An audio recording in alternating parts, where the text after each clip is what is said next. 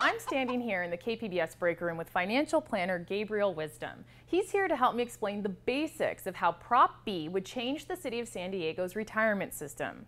Prop B would freeze the base pay of current city employees for five years, but it would also switch most new city employees, excluding police officers, from a defined benefit to a defined contribution system. And this is what Gabriel and I are going to focus on today. And we're going to do that using eggs. Okay, these uh, bowls of eggs represent three different pots of money.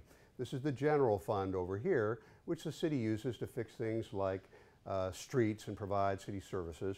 And the bowl in the middle uh, represents the city's pension fund, which it invests in the stock market in the hope that it'll go up and then uses that money to give uh, retirees the benefits that they've been promised. And then this bowl here is the uh, employees retirement fund, so we have the general fund, the pension fund, and the individual accounts of the retired workers. Right. Okay, so what does the current system look like right now? It's called the defined benefit system, right? Right. That means that the uh, retirees are guaranteed a certain benefit, which is determined mainly by the number of years an employee uh, worked and the salary that they got. So let's say an employee uh, is promised four eggs a year okay. for the rest of their life. Okay. So we take four eggs and we put them in the employee bowl. Okay. The city has to give them four eggs every year. Okay, but what if something happens, like in the last few years when the stock market crashed? So now there aren't enough eggs to cover the required contribution. See, there are only three and they need four. Well, that's where the general fund comes in. Uh, when there aren't enough eggs in the pension fund, the city has to take eggs from the general fund to cover the losses. Okay. So we take two eggs from the general fund and we put them in the pension fund. Okay, but that means there are fewer eggs left to cover city services, right? Right.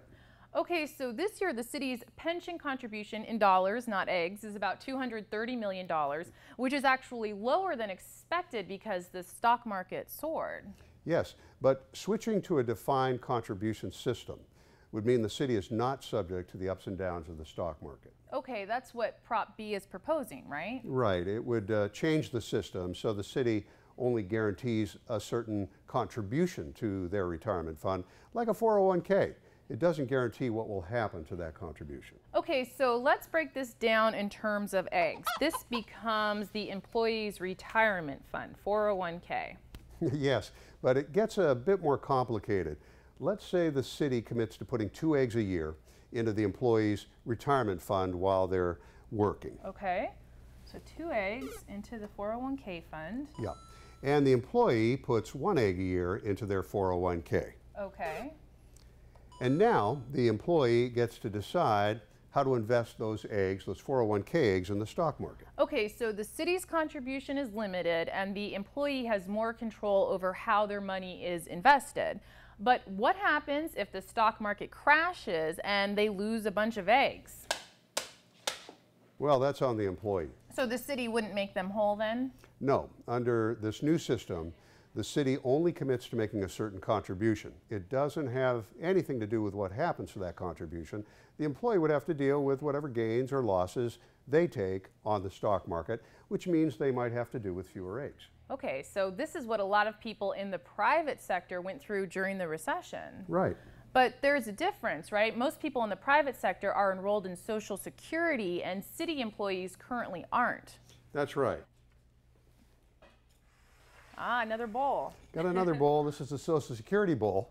Uh -huh. So in the private sector, uh, when the market tumbles and eggs begin to fall, Social Security acts as a kind of safety net. During their working lives, most people in the private sector and their employers have been paying eggs into Social Security.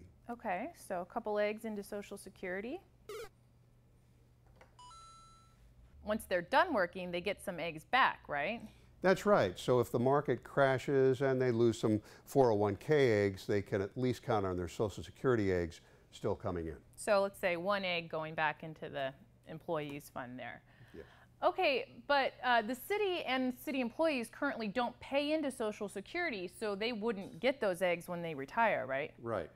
Okay, although I should say supporters of Prop B say future employees could vote on whether they want to rejoin the Social Security system, but those details have yet to be worked out. Correct.